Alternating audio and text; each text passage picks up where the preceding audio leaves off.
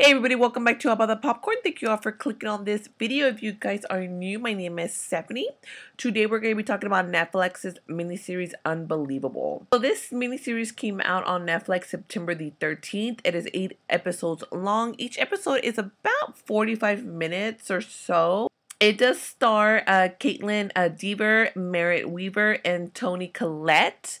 Let me just say right off the bat, what an amazing cast. So before I officially start off this review, I just want to just put a little disclaimer up there. If you guys are new, this is not normally how I do my reviews. Normally, you'll see me instead of just hearing my voice, but I am going to be honest with you, I'm being a little bit vain today. So I thought it would be a fun little different thing for me to do it this way. If this is how you prefer reviews, let me know down below because I wouldn't mind doing stuff like this. It's actually pretty interesting. So um, let's go ahead and just get on with this review.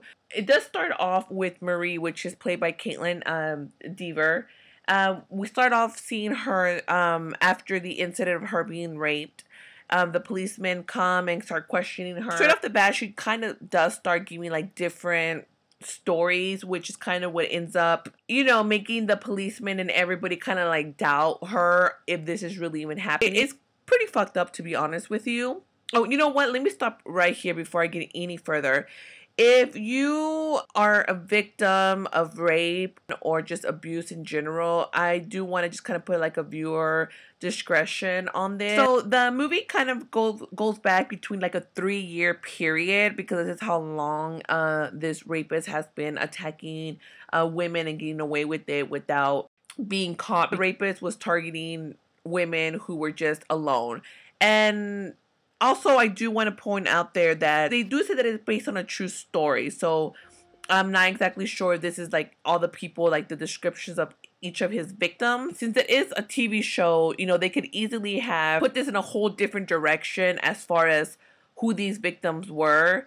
Um, just like we see like all the time, like in movies and TVs, it's always, you know, the tall, thin, hot, blonde, ditzy, drunk, you know, girl who have who ends up being a victim. I don't want to say anything bad, and I hope nobody like asks me for that.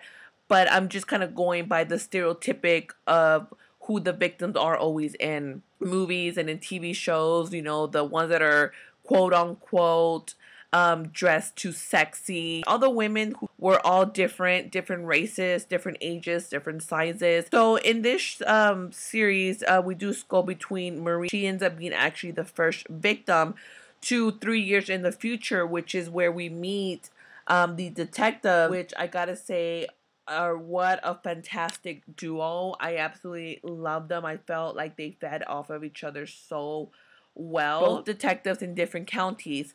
And literally, the way that they ended up finding each other was really by pure dumb coincidence. They ended up making such a great uh, team that they were able to, you know, get all their resources to be able to handle this case properly unlike um unlike Marie's detectives that really I mean, I did catch myself there at the end. Seriously, called the detective an asshole. I didn't believe Marie because her stories weren't adding. Her story wasn't adding up. But I mean, can you blame the girl? She literally just went through a rape.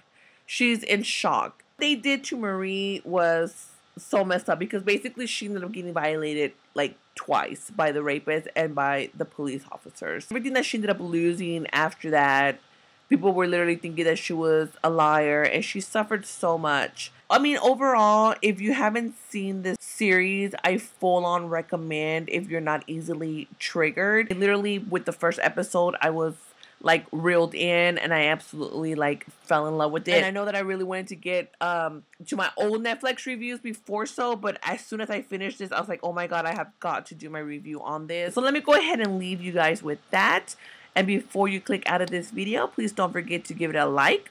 Subscribe to my channel if you haven't yet. Don't forget to hit the notification bell so you'll be notified each time that I post something new.